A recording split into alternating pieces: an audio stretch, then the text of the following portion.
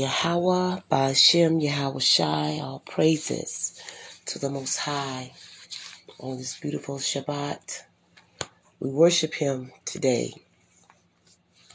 Today is the Sabbath, and we are having a solemn worship where we're going to be reading from the divisions of Psalms, and we are going to just emerge ourselves, just bask ourselves in the presence of the Lord uh, with His Spirit in just to the temple, the temples of our heart, the temples of wherever location, locality we are, wherever we are.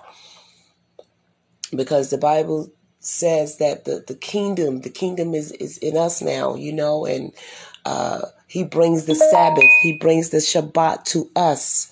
So we're going to read scriptures for this solemn worship day of the Sabbath. So important that we fill our lives, we fill our hearts with the Spirit of the Lord through His Word, especially on the Sabbath, especially on the Shabbat, every day of our lives. But you know, when we use that word solemn, that means that's a set aside day for earnest prayer and earnest worship. It's a set aside day that the Most High just wanted us to just be in His presence his presence. Work six days, stop it all on the seventh day, and just give him ourselves so he can handle some things for us in the spiritual realm. He can be worshiped. More so, he could just be worshiped. He could just receive our praise. He could just receive our honor. We could just bow ourselves before him. We could just, you know, afflict our souls before the presence of the Lord. So we're going to read these Psalms for this day, this, this solemn high holy day of the Sabbath. This is the Sabbath day of rest. And it means a lot to the Most High. And as Hebrew Israelites, we have to regain our understanding of how important the Sabbath is. The Shabbat is so important. We missed out on it for so many years. Worshiping or going to worship at the, you know, a building on the wrong day. Now we have the opportunity to make back up for all those years. And it means so much that the Most High have set aside this day, this day of the Shabbat. And we want to be able to honor and worship Him. So if you have your Bibles, let's just start in Psalms, uh, the 91st division of Psalms. Let's just bring the Most High's presence down in our atmosphere to pray for our families, our loved ones, our whole nation of Israel. That's what we need to pour out our, our hearts to the Most High. Let Him see our dedication. Let Him see our hearts is rendered in true worship to Him by reading His Word, just like Yahweh Shai did. Just like I said earlier, Yahweh Shai and the disciples, the apostles, they went to the temple to read the word. It was a regular routine that they did to read the word. So the 91st division of Psalms, and we pray the Most High be with us in His Spirit, in His presence, that as we read the Word, that He ministered to us, He ministered grace, that the angels in the Spirit is just being commissioned to, you know, release the blessings, the peace, the deliverance, that we need and our family need and our whole nation of Israel need as a whole. The Most High can do mighty works, and that is why we want to get into His presence. So, the 91st division of Psalm, we're going to begin there. The secret place of the Most High. We want to be able to get be there. He that dwelleth in the secret place of the Most High shall abide under the shadow of the Almighty. Don't you want protection? Like these pages, these words are coming off these pages and and it's alive. Don't you want protection? Then we have to abide in that secret place, dwell in the secret place of the Most High, under the shadow of the Almighty. That's in prayer, that's in worship, that's in dedicating our lives unto Him. Verse 2 say, I will say of the Lord, he is my refuge and my fortress, my God in whom I trust. He's all that we need and more. We lack nothing because we serve the Most High. We lack nothing. Verse 3 Surely he shall deliver thee from the snare of the fowler and from the noisome pestilence. These are principalities. Surely he shall deliver thee from the snare of the fowler and from the noisome pestilence. These are things that are coming to destroy us in the spiritual realm and manifest naturally. We have enemies in the spirit that are warring against our souls. Verse 4 He shall cover thee with his feathers, and under his wings shall thou trust. His truth shall be thy shield and buckler. Thou shalt not be afraid for the terror by night, nor for the arrow that flieth by day, nor for the pestilence that walketh in darkness, nor for the destruction that wasteth at noonday. A thousand shall fall at thy side, and ten thousand at thy right hand, but it shall not come nigh thee. Only with thine eyes shall thou behold and see the reward of the wicked, because thou hast made the Lord, which is my refuge, even the Most High, thy habitation. Like dwelling, dwelling in the secret place. You know, um, knowing that we need the secret place of the Most High. He said, Because thou hast made the Lord, which is my refuge, even the Most High, thy habitation. There shall no evil befall thee, neither shall any plague come nigh thy dwelling. For he shall give his angels charge over thee to keep thee in all thy ways. You know, this this this is our prophetic scriptures, of course, prophetic scriptures concerning the Most High gave these scriptures also for Yahushai. For he his, he gave his angels charge over Yahushai when um, Satan was trying to tempt Yahushai, you know, when he was on the mount. He gave his angel. These are the scriptures that Yahushai reiterated to Satan. So that's why we have to uh, give Satan, the, the evil spirits out there, the word. Speak the word.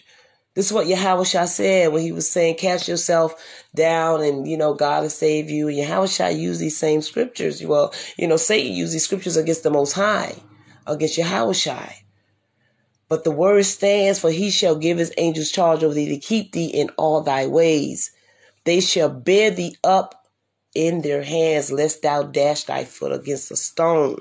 Thou shalt tread upon the lion and adder. These are snakes. These are evil spirits. These are snakes. Thou shalt tread upon the lion and adder. The young lion and the dragon shall thou trample under feet. The Most High is just speaking to us, giving us all this confirmation. He said, Because he has set his love upon me, therefore will I deliver him. I will set him on high, because he have known my name. The Most High is talking to his people that He's going to set them on high because what? We know his name. We know his name. And he knows that we know his name. That's why he's going to set us on high and deliver us. He said in verse 15, he shall call upon me and I will answer him. I will be with him in trouble. We talked about trouble yesterday.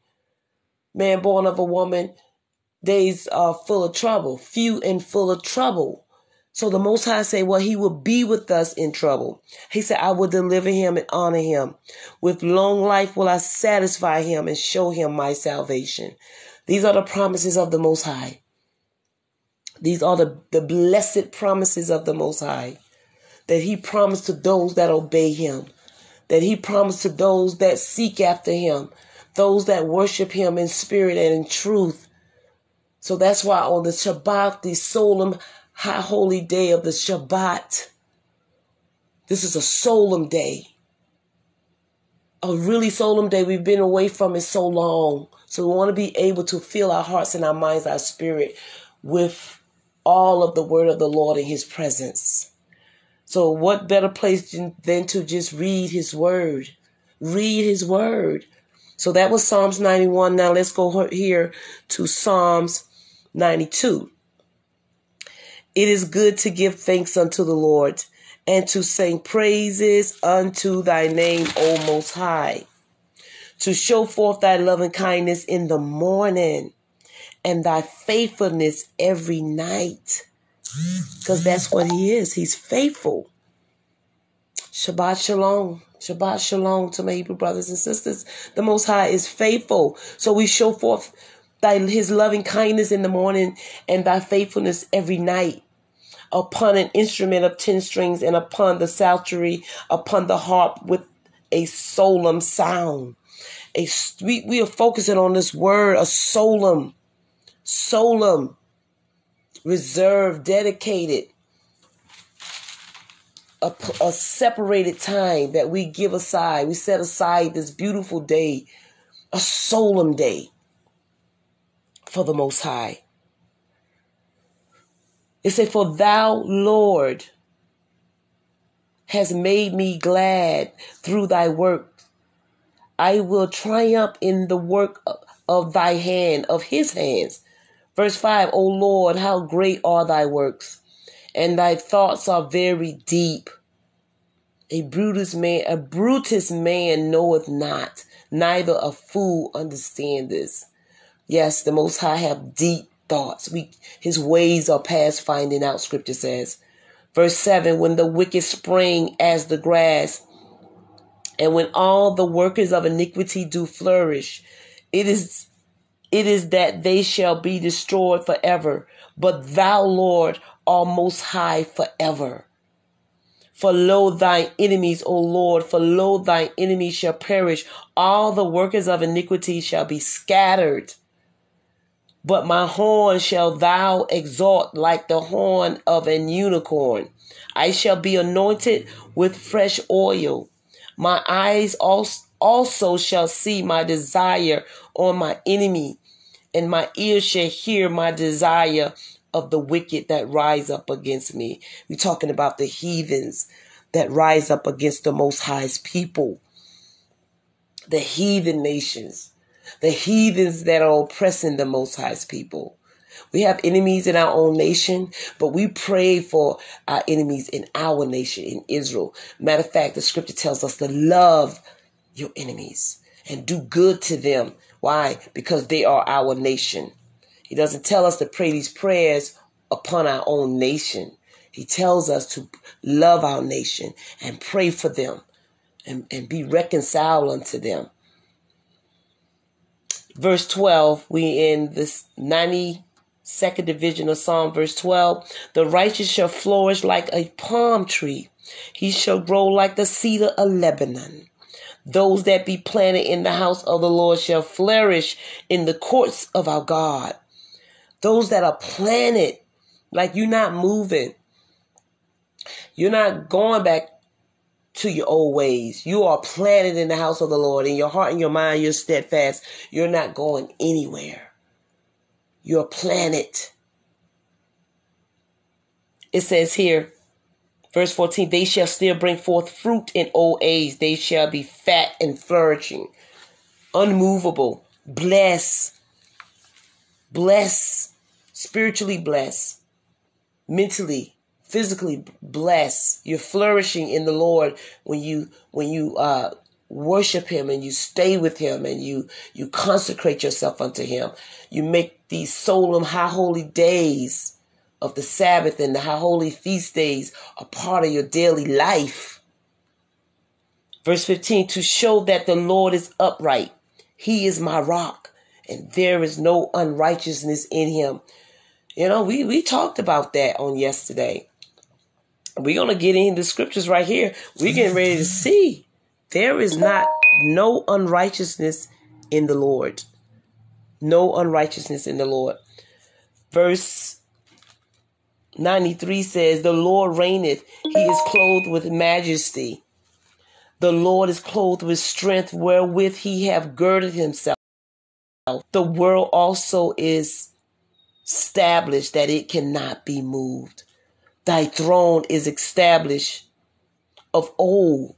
Like the Most High is the Ancient of Days. We know that.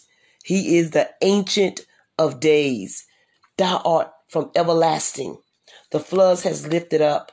O Lord, the floods have lifted up their voice. The floods lift up their waves. The Lord on high is mightier than the noise of many waters, yea, than the mighty waves of the sea. Thy testimonies are very sure. Holiness becometh thine house, O Lord, forever. Holiness becometh his house. That separation, that separation that the Most High have separated us, called out, called, called out us from the world. It becomes his house forever, O Lord, forever. The 94th division of Psalm now. O Lord God, to whom vengeance belong, belongeth. O God, to whom vengeance belongeth, show thyself. Lift up thyself, thou judge of the earth. Render a reward to the proud. Lord, how long shall the wicked how long shall the wicked triumph? How long shall they utter and speak hard things, and all the workers of iniquity boast themselves? They break in pieces thy people, O Lord, and afflict thine heritage. This is what the wicked does to the Most High, his, his people. This is what the wicked does to afflict the Most High's people. But look, let's read, keep reading. Verse 5. They break in pieces thy people, O Lord, and afflict thy heritage. They slay the widow and the stranger and murder the fatherless. These are brutal people. Yet they say the Lord shall not see, neither shall the God of Jacob regard it. So they say the Most High is not going to regard the evil that they're doing. Understand, you brutish among the people. Ye fools, when will you be wise? He that planteth the ear, shall he not hear? That's why you got to be careful what you say. You got to be careful what you say. The Most High is a God of knowledge, and by Him actions are weighed. Be careful what you say. Be careful what you think. Be careful. Let's read it again. Yet they say the Lord shall not see, neither shall the God of Jacob regard it. Understand, you brutish among the people, and you fools, when shall you be wise? He that planted the ear, shall he not hear? He that formed the eye, shall he not see? I mean, the Most High is the one that gave us, created eyes. He's the one that formed eyes and ears. You don't see, he see your wickedness and what you're saying and what you're doing and how you're being mean and speaking against the Most High's people in pride. Verse 10 says, He that chasteneth the heathen, shall he not correct? He that teaches man knowledge, shall he not know? The Most High the one gave us our brain, the intellects and knowledge of our minds to comprehend. Now we people think they know more than the Most High. People think that they can comprehend and tell the Most High what to do. They think that they can say one thing and take that and run with it and say the Most High said yea or nay. You don't know the Most High and all his facets of his greatness, his vast greatness. Because the Bible says again that his ways are past finding out. So you're going to know what he says to do, everything he says that he's going to do, and what he's doing in people's lives. Be very careful. Verse 11 said, The Lord knoweth the thoughts of man that they are vanity. If it's not according to this scripture, if it's not according to this word, then it's vanity. Forget what we conjure up. We got to stick with the scriptures, read it and see it. And he does other things in our lives because he wants to confound the wise. He wants to confound, make the foolishness of the wise come to nothing. So sometimes he does things to make the wise wonder why he doing that. Why he, why is he using him? Why is he using her? I thought because you're too wise in your foolishness. So he's going to confound you. He's going to make you shut up. That's what he does. You got to be very careful with the most high. Walk, walk circumspectly and be wise and be humble with the most high. Verse 12 said, Blessed is the man whom thou chastenest, O Lord, and teaches him out of thy law. You want the Most High to chasten you. You want the Most High to correct you because that means he love you. Verse 13 say that thou mayest give him rest from the days of, ab- of adversity until the pit be digged for the wicked. That's what's going to happen to the wicked. All of the wicked need to really hear. Anybody wicked out there, you know, you just you you troublemaker. You're a troublemaker. You say bad thing. You you're the wicked. The Most High have a word for you in here. He's gonna dig a pit for you. Verse 14, for the Lord will not cast off his people, neither will he forsake his inheritance. It's not going to cast off Israel. And the nations has thought the Most High have cast his people off for a long time. That's why they treat us the way they do. And try to regard not what Jacob, we just read that. But see, the Most High sees that. That's why He's sustaining us. That's why He's sustaining our, our, our, ancestors. Verse 15 says, But judgment shall return unto righteousness, and all the upright in heart shall follow it. Upright in heart. That's why the inheritance of the, the upright, we're blessed. Our children are blessed. We pray those prayers upon their lives.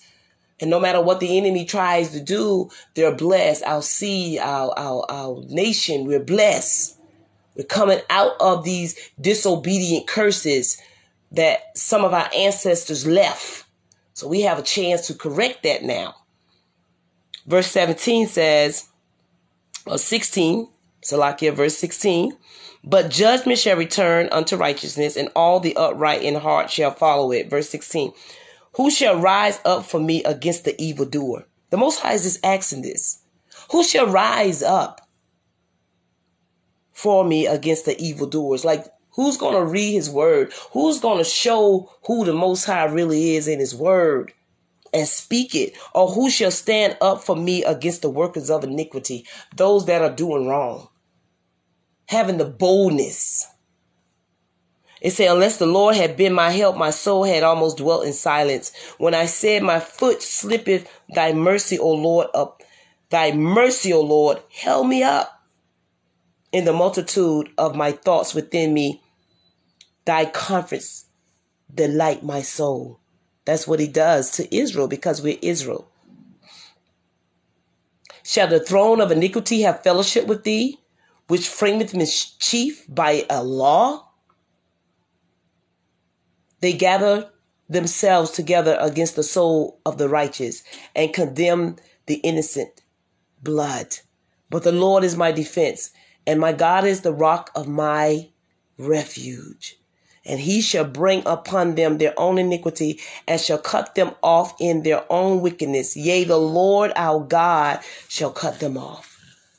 So the wicked, we don't have to worry about them. The Most High is going to cut our oppressors off. The heathens, the oppressors, or, you know, those that trouble our souls. Verse 95 says, Come, let us sing unto the Lord. Let us make a joyful noise to the rock of our salvation. Why? Yeah, because he's a great God. He does wonders. Wonders to perform, the scripture says. Come, let us sing unto the Lord. Let us make a joyful noise to the rock of our salvation. Let us come before his presence with thanksgiving and make a joyful noise unto him with psalms. Oh, psalms like we're reading right now. For the Lord is a great God. We know his name is Yahweh. And a great king above all gods, little g, idol gods, just fake gods. The Lord is a great God and a king above all gods. Verse 4 In his hand are the deep places of the earth. The strength of the hills is his also. This is the magnitude of the power of our God. The sea is his, and he made it, and his hand formed the dry land. Oh, come, let us worship and bow down. Let us kneel before the Lord our Maker for he is our God, and we are the people of his pasture and the sheep of his hand. Today, if you hear his voice, harden not your heart as in the provocation and as in the day of temptation in the wilderness, when the fathers tempted me, proved me, and saw my work. Forty years long was I grieved with this generation and said, It is a people that do error in their heart and they have not known my ways. It grieves the Most High when we don't know His ways. The ways of holiness are being separated. The ways of holiness of keeping the commandments, of honoring and observing the high holy feast days. As Israel, we know who we are now. We know that those are our our high holy feast days. We are a separated people from the world, and we have to get back to understanding that to know that we we are not blend. We don't have to blend in with this society and the way they worship in Christianity. We do not have to do it. We are Hebrew Israelites. There is a difference. There is a separation. We know that now. We're not in one big melting pot with all of the world, with every nation. We are not them. We are separated. And that is what we have to make known. Verse 11 says, Unto whom I swear in my wrath that they should not enter my rest, because they were disobedient. They were disobedient. We're going to read one more Psalms and then we're going to close out. The 96th division of Psalms says, Oh, sing unto the Lord a new song. Sing unto the Lord, all ye. Sing unto the Lord, all ye earth. Bless his name. Show forth his salvation from day to day. Declare his glory among the heathen, his wonders among the people. Well, yeah, because we're the light of we're the light of the world. We're the salt of the earth. Verse 4 For the Lord is great and greatly to be praised. He is to be feared above all gods. For all the gods of the nations are idols, but the Lord made the heavens honor and majesty. Honor and majesty are before him. Strength and beauty are in his sanctuary. We're talking about the Lord God Almighty. We're talking about the mighty God of heaven and earth. Give unto the Lord, O you kindreds of people. Give unto the Lord glory and strength. Give unto the Lord the glory due unto his name. Bring an offering and come into his courts. O worship the Lord in the beauty of holiness. Fear before him all the earth. Say among the heathens that the Lord reigneth. The world also shall be established, that it shall not be moved. Moved. He shall judge the people righteously. Let the heavens rejoice. Let the earth be glad. Let the sea roar and the fullness thereof. Let the fields be joyful and all that is there that is therein. Then shall all the trees of the woods rejoice before the Lord, for he cometh, for he cometh to judge the earth. He shall judge the world with righteousness and the people with his truth. It's, the truth is pure, and he's coming to judge the earth with righteousness, the whole world with righteousness. That's the type of God we serve. And uh, you can read again, go continue to read the different Psalms. It's a blessing because um, the Most High wants us to hate evil. Hate evil and love that which is good. Cleave, cleave to the Most High. Cleave to the Most High. Hate evil and cleave to that which is good and rejoice in the Lord. The righteous, we supposed to rejoice in the Lord and give thanks at his remembrance of his holiness. That's Psalm 97, verse 12. Rejoice in the Lord and give thanks at the remembrance of his holiness, the separation that he's different from any other God. We serving the right, true God that is alive. We're not serving a dead, idol God made of wood, stone, or you know, uh, silver or anything. We're serving a living God, and that He's watching over us every single moment. That He is the true God, the only true God. He's the God of Israel that performs wonders, that watches over us, that watches over His word to perform it in our lives. So the Most High bless you and keep you and thank everyone uh, with peace. Bless you with peace. Keep you. Lift up his countenance upon you. Let his peace be in your heart on this solemn Sabbath day of worship. Like you in the right place at the right time with the Most High on the Shabbat. To give it, give him all, to narrow in, to close some doors, to just worship him, give him what he wants. Because he said, here, we're going to read this verse. He says here, Leviticus chapter 23, verse 3 Six days shall work be done, but the seventh day is the Sabbath of rest and holy convocation. You shall do no work therein. It is the Sabbath of the Lord in all your dwellings. As much as you can, we got to get back. We know we're in the land of our captivity. But as much as you can on that solemn high holy feast day that you are able, you get in there and you give it all you you can for the most high. And we're going to stop right there. May the Most High continue to bless everyone on the broadcast and you feel His presence and He just go with you throughout the day and be with you, of course, all throughout the week. Until next time, shalom, shalom.